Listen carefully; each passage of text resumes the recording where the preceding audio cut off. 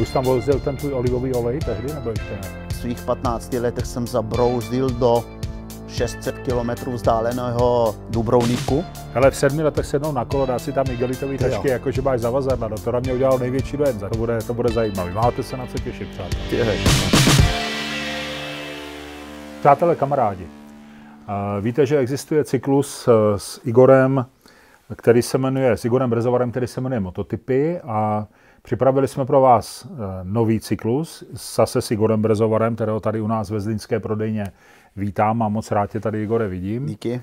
A, a tentokrát to bude ryze o cestování, protože jste nám hodně psali, že, byste, že jste byli rádi, že ty mototypy jako znáte a tak, ale dáme si, že by bylo fajn teďka si povídat o tom, o tom cestování, že Igor Brezovar je pro nás, pro všechny prostě motocestovatel číslo jedna. No zážitku má samozřejmě spoustu a tak jsme se s Igorem domluvili, že uděláme takový seriál povídání o tom motocestování. Začneme dneska tím, že si povíme, jak vlastně Igor začal cestovat a, a proč vlastně cestuje a že vás to třeba nebo nás všechny to může trošku namotivovat k tomu cestovat taky. No a postupem času, když nás budete sledovat, tak se dovíme i o tom, jak se mu líbilo kde a co zažil a, a tak dál. Tak když máte chuť a čas, dejte si kafe a koukejte se. To si Igor. krásně krásně to uvedl. Doufám, že, že se tady cítíš dobře, že za náma přijel do Zlína. Jako po každé na Moravě. A to zní hezky, to zní hezky. No a řekni mi, prosím tě, co tě teda zvedlo tebe osobně konkrétně ze židle a řekl si, že já musím někde jet a chci něco poznat a něco vidět. Co byl ten impuls? A co tě dneska pořád zvedá? Když, mi bylo, už když mi bylo sedm let, jsem, já jsem se narodil ve Slovinsku v malé vesničce Žužemberg Zní to směšně, ale je to tak. A když mi bylo sedm let, už si pamatuju, když jsem dědečkovi říkal, aby mě probudil v sedm ráno, byly prázdniny a já jsem si sednul na kolo a po stranách jsem si uvázal dvě igelitky a tam jsem si dal svetr, piškoty, vodu nějakou a odjel jsem tak dva, tři kilometry podél té vesnice kolem dokola. Sednul jsem si někam na trávu podél silnice tehdy ještě byla šotolina a snědl jsem ty piškoty a tak. Teď nechci tvrdit, to, zní to jako kýč, ale tak to bylo a nevím, co mě k tomu, vím, co mě k tomu vedli. Strašně jsem obdivoval ty turisty, kteří chodili do Jugoslávie, především Italové, Němci, e, pamatuju si Hondu CBR 600F, takový zelený design s kuframa toto pro mě byl takový magnet. Já, já jako mladý kluk jsem snil strašně o těch, o, o, o ty kombinaci motorka s kuframa, pár sedici na tom a v naší vesničce, protože máme krásnou průhlednou řeku, tak se tam vždycky zastavovali na kafe, na oběd u hradu a já, a já jsem prostě na tom náměstíčku malým, co máme, nebo na vsi se to říká u vás, já jsem tam trávil celý dopoledne na kole s klukama a jenom jsme pozorovali ty turisty tam, jak jezdili. A jenom motorky, auta tě nezajímaly? Auta mě nezajímaly. Nejenom ty motorky, ten, ten pár na tom sedící, ty dva manžele tehdy, že starý lidi to byli, měli kníra, bylo jim 30, mě bylo 7, 10 let no. tehdy. No a jo, a pak v sedmi třídě mi táta koupil Tomosku, 50. A ta story se opakovala, akorát, že už nebyly 2-3 kilometry kolem vesnice, ale v svých 15 letech jsem zabrouzdil do 600 kilometrů vzdáleného Dubrovníku na této mostce. To bych mohl srovnat Simpson, ne, Simpson byl větší, rychlejší. To je tak něco to... mezi Babetou a Simpsonem. No k té Babetě, že je to spíš tak jako... Trošku víc, něco už se to řadilo jo, a tak. Ano, no, no, no, a, ale nejelo to víc než 52 nebo kolik. Hmm. A zase tašky uvázal a deku a to. Tak najednou byla ta Tomoska taková, že jsem musel všude jet na jedničku, dvojku. Vím, že jsem chladil motor, než jsem se pustil, jestli zná někdo, eh, kopec ze Slovenska do Rieky se jede přes město Delnice, neznámý úplně o Chorvatsko, ale máte to tam takový karpal, který se táhne asi 10 kilometrů jenom do kopce. A já si pamatuju, že jsem před tím kopcem zastavil, ochladil motor a pustil se. Samozřejmě byl teplej za minutu zase. Yes. to jsem tehdy ještě nevěděl, jak a to funguje. A pocit, že proto něco děláš, jo? Jo, jo, jo. No a pak to bylo z kopce zase, že? Jo, tak no, neutrál jsem tomu chudákovi, dal, aby se úplně ochladil. No, a už jsem zase v těch taškách měl náhradní díly a, a písty a lanka a už tehdy si pamatuju, že jsem měl vejfuk od Akrapoviče, ale tehdy byl Akrapovič právě dělaný na ty tomoské pro nás mladé kluky a, a stálo to pár set euro na, na tu 50, ale už nevěděl nikdo, kdo to Akrapovič je, ale chci říct, jako z takového malého trhu se teď vyvinula hvězda. No a já už tehdy právě, když mi bylo těch 15, už si pamatuju, že jsem měl ledvinový pás, rukavice, koženou bundu, vždycky helmu, eh, ale spíš ne kvůli tomu, kvůli bezpečnosti, ale spíš, abych vypadal jako no, pravý jasně, motorkář. Musel vypadat jak ty Němci jo, a Holanděni, co tam jezdili. To, to bylo jo. nádherný. A potom k tomu moři a podél těch, na Slovinsko je strašně krásný, tak jsem s časem potom objel velký kus toho Slovinska na ty 50 a přišlo rodiny rozhodnutí, že se jde žít do Čech. Já jako budoucí cestovatel jsem neměl problém měnit okolí. Pro mě to bylo další adrenalin, další nový, nová etapa života. A mm, samozřejmě máma brečela někdy radosti, někdy, někdy e, tím, že měla měnit okolí, že po těch letech. Ale já jsem se na to těšil. Ale věděl jsem, že i rodina, rodinný rozpočet se přilepší. Takže mm-hmm. jsem hned využil situaci a s tátou jsme se domluvili, že když se chytnu v, těch Čech, v Čechách, že mi koupí motorku.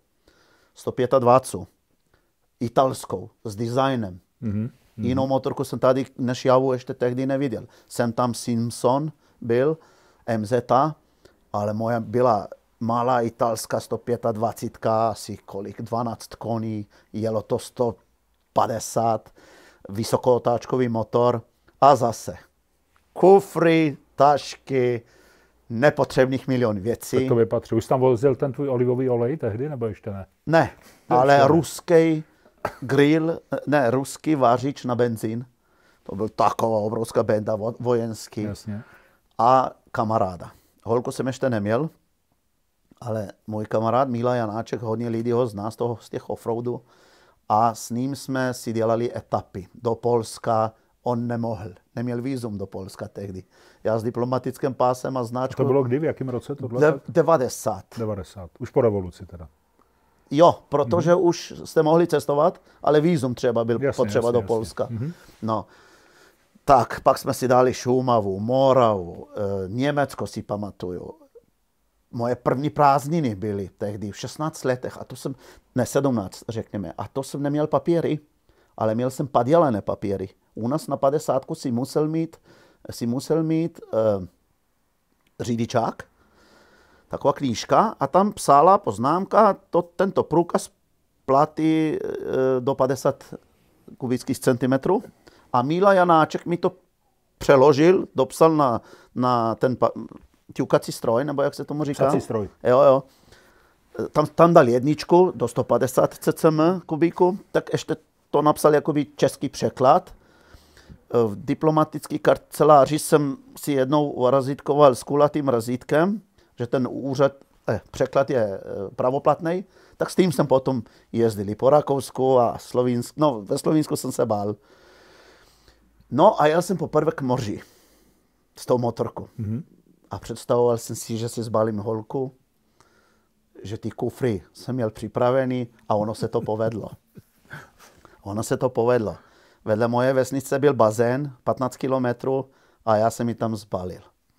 A já jsem nějak hned chtěl k moři z toho holku. Na týden byl plán. Mm-hmm. No to víš, hned jakmile jsem dostal svého, už jsem chtěl jít domů se pochlubit kamarádem. Jasně. Takže pár nocí v tom stánu bylo. nebudu mluvit o kvalitě, ale o, o ne, kvantitě. My, my mluvíme o motocestování, jo, jo, jo, Promiň, jako, jo. Takže prostě nad nějakou obrovskou skálou, jako. dole mm. moře, motorka, stán, ten ruský grill, konzerva na tom. To bylo přesně ono, čeho jsem chtěl, za čím jsem chtěl jít, kde jsem četl a, a to byly ty impulzy. A mezi tím ve Slovinsku jsme měli jeden pár, do dneska jsme v kontaktu s tím pánem, jmenuje se Zvona, Zvone, a on objel svět dokola ze svojí ženou. Ale opravdu celý svět. Ne, ne z New Yorku přes Rusko do Čech, ale mm-hmm. opravdu přes to státu, kontinentu a tak dále. BMW mu dal motorku, jakožto Jugošovi, který to snad fakt dokáže a otevíral si nový trh v Jugoslávii BMW s tím, že? A ty jeho knížky jsem já žral strašně moc. Opravdu jsem je četl po večerech a furt dokola a, a mě bavilo právě ne motorky, ale ty lidi. Já jsem potom si koupil knížky o lidech, o, o, o, o černoších. Tyjo. Potom, když v Praze jsem viděl Černocha, to byl pr- poprvé jsem viděl Černocha v Praze, já jsem běžel za ním a bavil jsem se s ním a odkud je a on nevěří, co, co za ně lezu, co za tím může být. On se mě bál, pak já jeho a, a Tunisane jsem oslovoval jako a strašně mě ty lidi fascinovali. No a s tím Mílou jsme ve školních lavicích překládali tu knížku. Míla taky chtěl eh, vědět, jak ten svět vypadá. A eh, sazili jsme se, kupovali jsme časopis Motorrad německý a tam byla hra o nějaký Suzuki tehdy eh, Katana se jmenoval, 800 kubíků, myslím, to jsme chtěli oba dva, protože s tím už bychom ten svět dali. Hmm. No a pak byla maturita a konec a naše vztahy byly dobré, ale rozšly si naše cesty. A já ale jsem furt potom toužil, furt ty knížky jsem četl a ten svět e, se mě přibližoval. Takže jsem si na, našel jinou holku, Češku, v Pražandu a povedlo se mi obět celou Evropu na cestovním motocyklu Honda CBR 600 a zase přetížený a nabalený, jak mě znáte, akorát ještě víc. A i židličky sebou a soleček a to jsem vůbec nevěděl, co, co budu potřebovat, co ne. Tepláky, slušně na večer, když půjdeme ven, eh, když půjdeme do lesa, prostě zbytečné věci. Dnes se tomu musím smát a nevím, jak ta Honda to vůbec utáhla, ale, ale ty pocity a ta cesta a ta symbioza s tou holkou, a ty sny a plány se naplňovaly a mě to hnalo dál a já jsem si říkal, že ten život k tomu prostě uh, nasměruju, věnuju svoje peníze, svůj čas, energii a fakt jsme se vrátili. Si pamatuje, poslední destinace byla Itálie, Slovinsko. Vždycky jsem se skoro vracel přes Slovinsko. Tak jsme v Praze, dnes jsem si sundal helmu, říkal, příští rok do Austrálie. Pojedem, pojedem. A jsme se ještě měli rádi. Koupil jsem starou Yamahu. Totálně roz, roz, rozštelovanou, spojkový koše mi museli měnit a řídítka fungovaly takhle. A já jsem zase nevěděl, že to je něco nenormálního. Když mi prodávali, tak říkali, že motorka v dobrém stavu. Já naivně dověřující, tak jsem to koupil a tak jsem měl do Indie potom. No a, a to už nebylo návratu zpět. Začali mě fascinovat. Takže ta Evropa jakž takž, ale zamrzelo mi jednou ve Francii, to zpětně, jako když se na to vzpomenu, si potom říkám, co jsem já v té Evropě jako viděl, nebo neláka mě to teď cestovat po ní, protože mě odešla vodní pumpa ve Francii, než mi někdo zastavil, trvalo půl dne, než mě odtahovka eh, odvezla do servisu, trvalo nějak, musel jsem přespat do hotelu, druhý den scháněli pumpu, sehnali, mě ta sranda tehdy vyšla na tisíc márek. E, takže všechno fungovalo, jak má, ale zaplat a budeš mít. Naučil jsem se, že všude jinde ve světě to funguje spontánně, pomoc jako člověku ne za prachy, a taky za prachy, ale jako jo, díl zaplatíš, že, mechanikovi taky zaplatí, ale není to sedří z kůže, nebylo to tak drahé a tak dále. No, ale to jsem se naučil později teprve. A mě, e, a začalo to s tou tenérkou jsme, s uh, tou dotyčnou, jeli, říkám do Austrálie, nedojeli jsme, dojeli jsme do Indie, došly nám prachy a tak dále, ale, ale už to začalo. Srbsko, lidi nás domů zvali, Bosna, tam já jsem uměl jejich jazyk, tak o to bylo jednodušší. E, jídlo. E, sedláci na silnici zmávali na nás. Pro mě se ten svět úplně otevíral. Muslim, z muslimů jsem vůbec neměl strach, to byl by jaký strach, jako, ale e, z, z muslimského světa jsem byl trošičku zkušený, eh, z Bosny a Hercegoviny. A v Jugoslávii to bylo známo, že Bosna a Hercegovina jsou jedni z nejpříjemnějších lidí.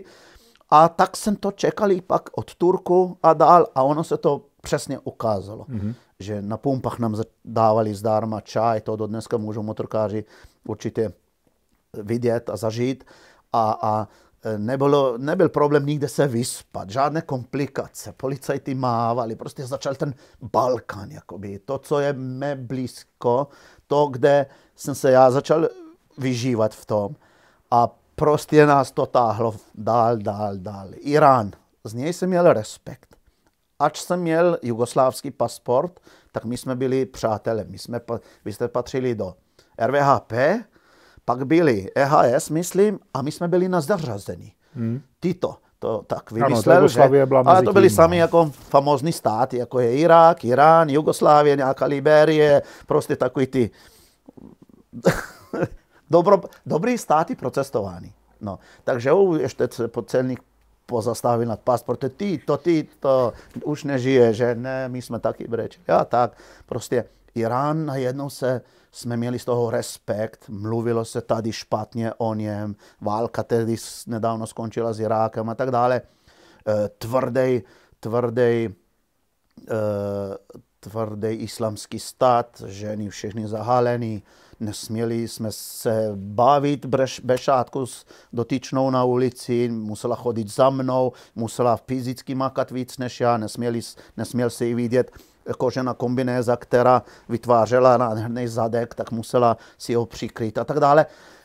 Měli jsme velký respekt. Ale dodnes mohu potvrdit, že iránský lidi jsou pro mě nejsrdečnější záležitost, co se týče lidí na světě. Nejpříjemnější. To jsme potom poznávali cestou a v Iránu jsme nikdy nemuseli schánit hotel. Po každé, pokud jsme jo nechtěli být sami, tak jsme spali u lidí, kteří nám, eh, nás samozřejmě nám vařili, eh, povídali jsme se a to je vlastně to, kvůli čemu já cestuju. Lidé jsou na prvním místě, eh, jídlo, no o jídle bych uměl polemizovat, že jo, hrášek nade vše, ale, ale lidé, krajina, kultura, to, je, to jsou důvody. A samozřejmě mě láká, mě baví, že ráno nasedneš, jedeš a furt jedeš a furt jedeš a víš, že zítra zase pojedeš a furt pojedeš, dokud se neunavíš, pak máš pauzu, pak se hraješ na turistu a, a víš, že ještě jedeš, že ještě 10 tisíc kilometrů nebo 15, 15 máš před sebou a to, to je ten magnet hnoucí dál, že? A k tomu máš tu ženskou, občas je protivná, ale naštěstí méněkrát, než je radostná a jste spolu a tak dále. Pak byl Pakistán, no a, a, a už jsme zjistili, tedy já, že jsme se rozhodli dobře, že jsme, že jsme obětovali eh, všechno, všechny volný čas, peníze do toho, co zažíváme momentálně. No a tak vy jste dojeli do Indie a pak jste se vrátili teda domů, říkal, že prachy došly, že už to bylo potřeba Prachy došly, na, ještě byla poslední kapka kapka, když jsme plánovali, že ona pojede domů aeroflotem za 400 dolarů, šla, jela z Lufthansa za 750, tyjo, mě zbylo fakt 40 dolarů v kapse a ještě jsem si udělal ty Indie měsíc skoro, necelý měsíc, víc než tři neděle, něco mezi tím. Jsem cestoval bez peněz. Ale věděl jsem, že to půjde, protože jsem zneužíval uh, svoji bílou pleť, která v Indii famózně funguje. Je, mluvím, je to 20 let zpátky toho, ale tehdy bílá barva znamenala strašně moc a vůbec nenarážím na žádný rasismus nebo něco, ale řeknu pár příkladů. Eh, když jsem přijel do banky vyměnit 10 dolarů, stála fronta 40 lidí eh, před dveřma, samozřejmě Indu, všimnul, já špinavý v kráťasech, slízky vlasy od, od vlhkosti, která tam je 98%. Všimnul se mě, všimla se mě ochránka a hned jako Igor, Igore, prostě Jasně. ty tam, pojď. A hned dopředu, kolem těch lidí, hned uh, do, uh, před okinko, vzal mě dovnitř do budky, ten, co měnil peníze, e, zatáhnul roletu a já mě bylo nepříjemné, ty mě lidi ukamenují. Proč? Zrovna já mám tu e, prioritu nebo výhodu.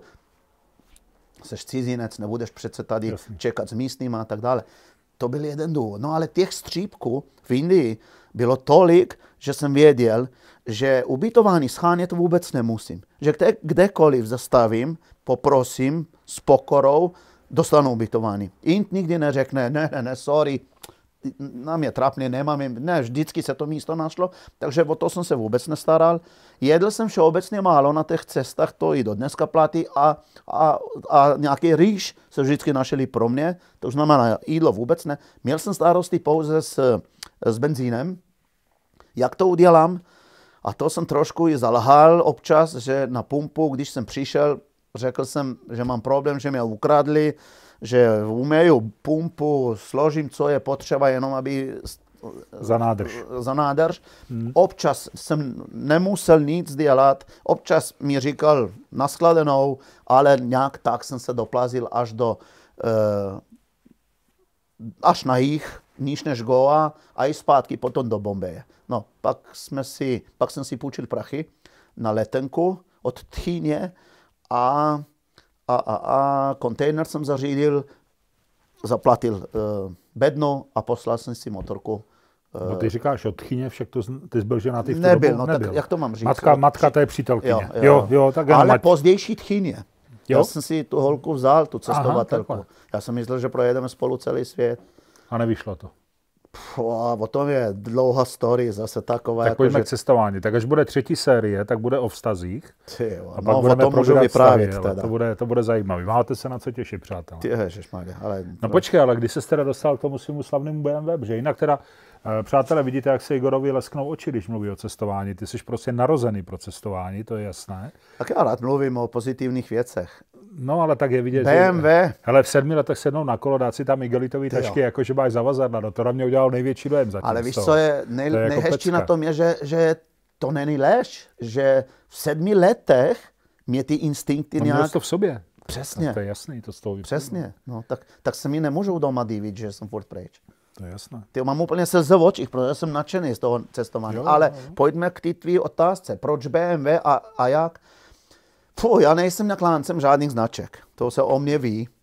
Ale BMW mi přirostlo srdci proto, že ten můj idol s tím Bavorákem celý svět objel. Jo, a být po mým, tak si tehdy koupím starý dvouventílový boxer, bílé barvy s červenýma rámama, tomu se říká dneska Paris Dakar model, ale už se neprodával a, a musel jsem si koupit nový.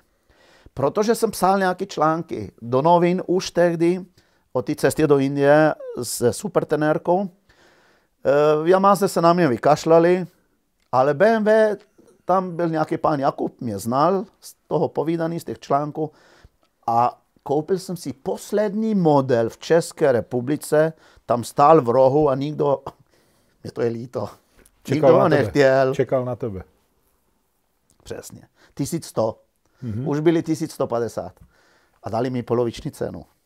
Tak, tak jsem to vzal. To všechno a do hned, sebe zapadlo. Já jsem ani domů nedojel, ale hned jsem dojel na Hradčane, tam byl jeden krámek, Attila, nějaký pán měl, krámek z moto vybavena, tehdy v Praze byl jediný, myslím, to byly opravdu začátky. To bylo v roce 99, mm-hmm. no, nebo 2000. 2000. A hned první věc kufry. kufry co největší. A nejenom kufry co největší, ještě povaržit a udělat mi větší. Jo. A hned další věc. A co tě k tomu vedlo mi takový obrovský zavazala? Protože že jsem jsi... se naučil, no, no, tak to už byly ale zkušenosti. Že mě strašně vadilo ráno byla deprese vždycky z toho, jak já všechny ty věci zase znovu narvu do přesně místa určeného, protože vždycky tlačí ta stát na tom a karimátka a stán a ženská kulmofén a já nevím co všechno. Jak to zase druhý den dát dozadu do těch tážek?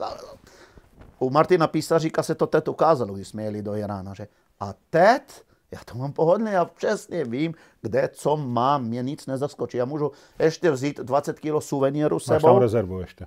Tu rezervu mám schválně na, na, na, na suvenýry. A také proto, když například v nějakém velkém městě jsem a projíždím v sandále v krátkých eh, těch a v tričku, tak já tam narvu věci do toho a nemůže mi nějaký zlodějíček, který v Africe, v afrických Jasně. městech je verbež. Sundat ty bundu z toho, sundat ty helmu někdy, tam já jezdím třeba bez helmy a tak dále. Teď ne, teď všechno, boty. Boty jsou tam vzácný druh odjevu, takže všechno to můžu narvat do těch kufrů. A proto se mně cestuje pohodlně. OK, na nějaké vlastnosti motorky v mých rychlostech a to, že ne, ne, nepokládám, se můžu vykašlat. Mm-hmm. Takže mě dávám přednost tomu, že mám pohodlný. To potřebuješ, aby byla aspoň trochu vyvážená, ne? Abys... Tak, tak to, to, to, to pravdu výdat. máš, když třeba jsem eh, v poušti a tak tankoval ten pravý kanister, myslím je na vodu, já to mám napsaný, protože zapomene člověk. A, a samozřejmě, ty to pustíš židítka, ty to táhne to, hmm. tak jsem dal ještě benzín třeba do ty levy. Jo. Vyvážel vlastně. No, jasně. No, jinak ne, jinak to mám zhruba vyvážený. No a takže, a to BMW, to je potom to, na čem jezdíš vlastně celou tu dobu, to je ta cesta kolem světa a to všechno, co si od té doby zažili tady na té motorce BMW. Ty jsi to nevyměnil, že? Nevyměnil. je pořád ta jedna původní. Já nikdy nevyměním. Super. Mě už dvakrát chtěli BMW dát novou, to, za to jim děkuju a ne, nedělám machra, ale já jsem citově vázan na to. Igore, ještě než se potom dostaneme v dalších dílech k tomu cestování blíž, myslíš si, že ta tvoje cesta, nemyslím těch sedmi letech, ale obecně, je pro normálního běžného člověka opakovatelná nebo aspoň něčemu inspirující? Uh, nerozumím úplně otázce, ale předpokládám, jestli by to dal každý. Uh, to asi ani ne. Já jsem spíš myslel to, že Běžně to bývá tak, tak jak ty jsi měl inspiraci v tom svým kolegovi Aha. vlastně ze Slovenska, takže ty dneska jsi inspirace Co, pro, spoustu, pro spoustu lidí, kteří uh, chtějí zažít třeba část toho. Proto A rád to, i píšu, ta otázka pro... už teďka, aby si rozuměl, jo. je o tom, že jestli to jako, jestli můžeme každý jít tou tvojí cestou. Každý z nás může si koupit motorku a jet do Iráku, do Indie, nebo je v tom něco Od, speciálního, odpovím, něco těžkého? Odpovím. Jo, trošku je speciálního tomu se dostanu. Ale za prvé, můj účel, no ne můj účel, účel, účel mý cesty bylo tím, že já jsem chtěl to udělat, já jsem to udělal a já jsem potom, ale moje poslání bylo to předávat dál. Já nikdy žádný tajemnoství nemám, o tom rád píšu, o tom rád povídám. Proč? Zrovna proto, aby co nejvíc lidí poznalo, že ten svět je nádherný. Tyjo, já to tak mluvím emocionálně, že mi úplně je k breku já to vidím, z no. radosti. No. Ale že by to měl zažít každý, protože ten svět by byl jiný. To říkám já furt. Ale jestli by to dal každý, no, nebo promiň, emoce půjdou a teď řeknu... Ne, já ti to možná ustaním. Spíš mi řekni, co je pro takovýhle cestování, který ty si zažíval a zažíváš, jako by podmínka nutná. Jako bych, co bych měl mít jako v povaze, nebo co Řeknu ty, no, nečekat, no, nebo o tom čekat. chtěl mluvit. No. Právě, motorku může koupit každý. Teď, aby mě dobře rozuměli. Boháč svět neobjede. Srdcař, ano, to je rozdíl. Mm. To chci říct, že ty já tady vyprávám jak nějaká baba, furt emoce do prdele, co to je. Ale ty vole, kdo tě ale... zná, tak ví, že jsi plný emocí, to k tobě Přesně, patří. ale uh, kurvňa, uh, je potřeba mít cít pro lidi, to jsem chtěl furt teď ze sebe dostat. Cít pro lidi je nejdůležitější. Co je nejblbější vlastnost během toho cestování? Arogance? Arogance, uh, já jsem taky arrogantný, třeba někdy na policajty, někdy na nějakého kreténa, který kradl vlasy mojí ženě, nebo který mě chtěl ojebat. Já to podle očí jsem v Africe poznal, když, když jsem lhal, kam jedu zítra, protože se mě ptali, protože jsem se pál, že zítra 50 km v Sachaře Někdo budou mě čekat. čekat a přepadnout, hmm. tak jsem říkal schválně, že jedu jiným směrem. To nejsem já zase takhle jako emocně a měkký a naivní a, a a peace and love. To ne. Jsou a potkáváte se se zlýma lidma na těch cestách. A právě to je potřeba mít v sobě, ohodnotit co za tou otázku se schovává, kterou ty dotyčný postavil. Jest, Martin Písařek, já jsem to myslel, že to je samozřejmé a že to je tak přirozený, ale potom, když jsem byl s Martinem, vlastně s ním jsem poprvé s někým cestoval, tak jsem viděl, že on, ježiš, je chrám Bůh, abych ho nepotopil, ale občas jsem musel do něj kopnout, anebo mu potom vysvětlit, Martin, nikdy nesmí říct, kam jedem, nebo proč. Mm-hmm. Jo, vlastně máš pravdu. Mm-hmm. Jo, taky se nám pak nic nestalo, ale mohlo by se. A, takže tohle je fakt důležitá vlastnost. Poznat, co se za těma otázkama těch no, lidí... No minimálně nad tím přemýšlet asi, jo? Tak, Analyzovat. ale nebyt z toho posraný. Na druhou stranu, já jsem strašně důvěřivý lidem a já jsem si vždycky nechával pozvat domů a nikdy se mi nic nestalo, ale já jsem rozčetl z těch očí z toho člověka, co se za tím schovává. Jestli opravdu mě chce poslouchat večer a mít doma u svého stolu s rodinou, anebo ne. Obvykle jsem si vybíral právě lidi, kteří měli rodinu, který byl čistě oblečený, protože jsem věděl, že nejedu do žádný špindíry. Ale taky jsem byl ve slumech v, v, v Indii, kde kryse po mně běžely a, a děti si mývali v, ce, v centrálním kanálu, kde bylo nasráno, nascáno, míli talíře, čistili si zuby. I v těchto podmínkách jsem spal, ale byli to super lidi. Oni neměli vid, tam se nic neschovávalo, že by, že by tam... Ach, to je stejná story, jako když jsem jednou navštívil Chánov v Čechách. Mezi cigány jsem šel. Mm-hmm. Protože to je přesně to, co tvrdím já. Pod lámpou je největší tma.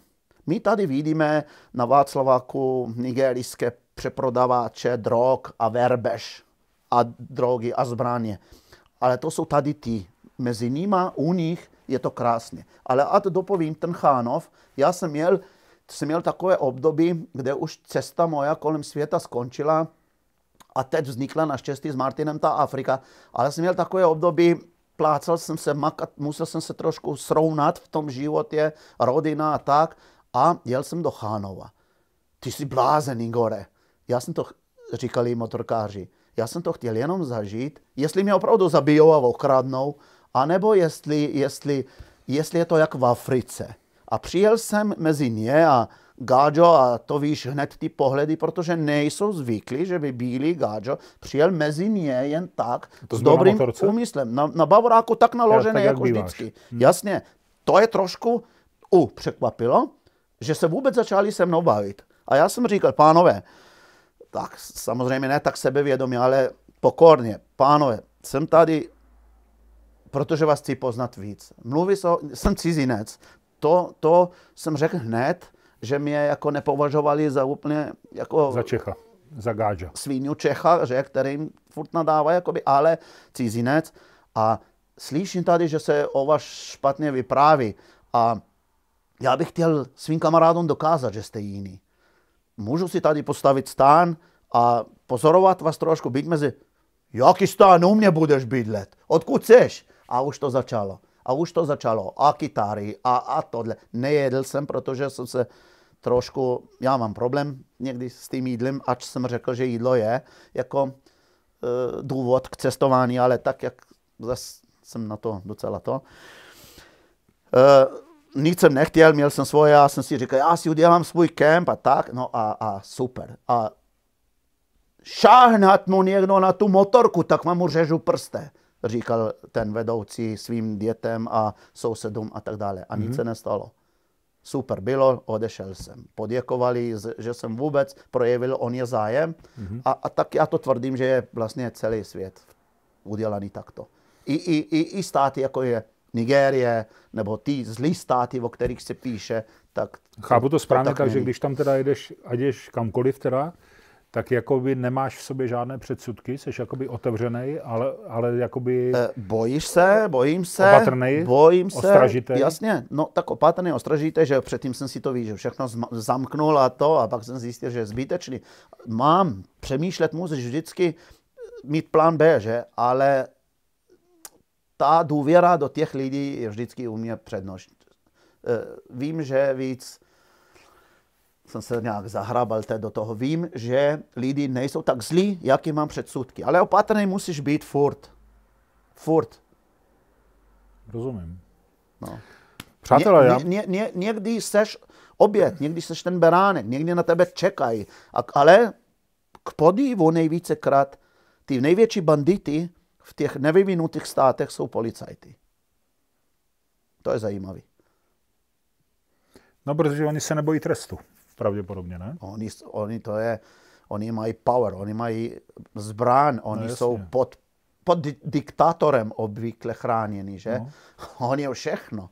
A, a potom se k tomu i postavím já. Pokud je pokorný a to a čau a uděláme si ten africký svůj pozdrav, od jisté doby máme jiný, že? Ale, ale